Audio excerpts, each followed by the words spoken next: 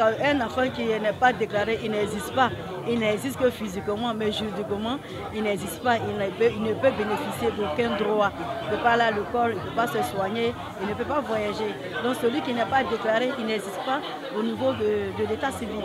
Ce sont là, entre autres, les messages que Diomandé Alimata, chef de service à l'État de l'Office national d'identification, a délivré aux ressortissants du Burkina Faso et des pays de la CEDEAO vivant à Aboisseau en Côte d'Ivoire. C'était à l'occasion de la journée de sensibilisation sur la déclaration des naissances et la scolarisation de la jeune fille le samedi 2 décembre 2023 à la salle des fêtes de la mairie d'Aboisseau. Sincèrement, euh, ça complique la situation et que ce sont des enfants même qui doivent passer un examen. Vraiment, il faut, il faut mettre accent. Il faut mettre accent.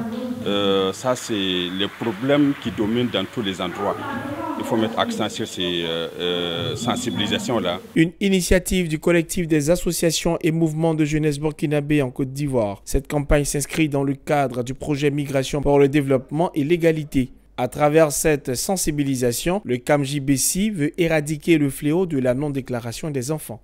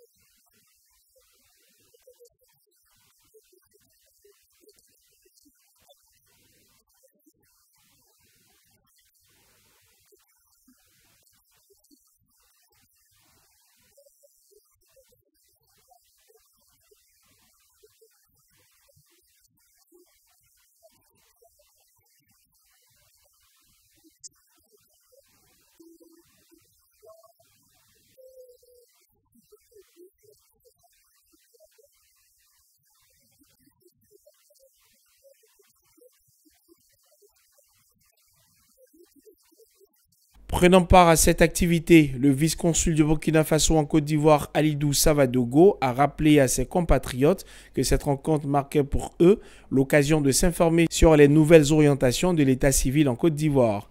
Il les a exhortés à un changement de comportement, notamment sur la problématique du mariage précoce. Des kits scolaires ont été distribués aux élèves pour les encourager à un meilleur rendement.